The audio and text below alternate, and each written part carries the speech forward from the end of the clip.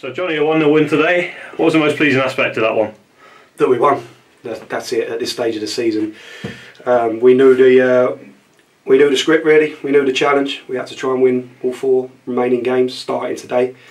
Uh, and it don't really matter how you get it done now. It's about getting it done. So uh, the most pleasing thing, yeah, was to win. But um, like always, the boys giving absolutely everything. You see our uh, how hard they're fighting for everything. Um, another clean sheet, which is a number I don't know what now, but it's right up there as far as um, ranked, ranked in the league. So uh, yeah, another resolute performance. Not our best by any means. Conditions made that really difficult though. I have to say that, and um, we got the job done. We get the win. We, we we we keep the season alive. There's three games to go. We have to try and win all of them, but we move it on now to next Saturday with with, with things still to play for. Yeah, there wasn't a lot in the first half. What do you feel changed in the second? Well, we got the wind. That, that definitely helped. Um, it was really, really hard.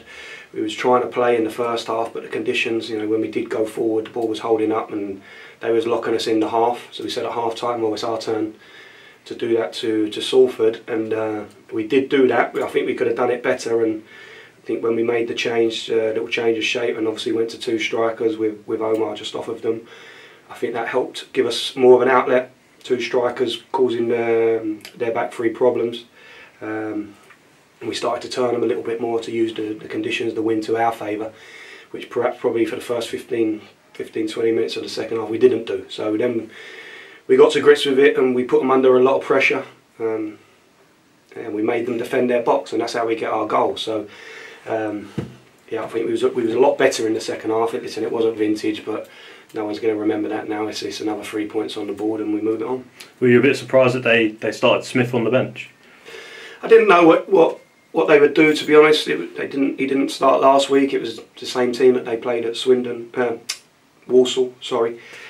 We've got Swindon next. They played Walsall. Watched yeah. a lot of football this year, Chris. You know, getting uh, getting confused. But um, their performance was decent.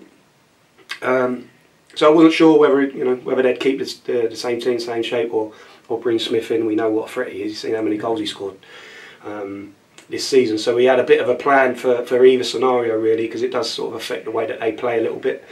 Um, obviously they threw him on at the end, um, and he's going to cause problems just because of how big he is and uh, how, how, proficient he is in the air. And he won some headers and, and made us defend but we stuck to our task. We got, you know, we saw it through. Even at the end there, putting our bodies on the line. You know, with their free kick on the edge of the box. Skipper comes up with a block, and that's what that's what, that's what this club's all about. You know, just giving everything for the badge for the cause. So uh, the boys will continue to do that in uh, the remaining games. Three regular ones, hopefully a, a, a few more. But um, all we can do is keep keep our end of the bargain now, which is try and keep winning games and, and keep the season alive. And lastly, Jack Currie took quite the whack. How is he? Yeah, he uh, he's sore.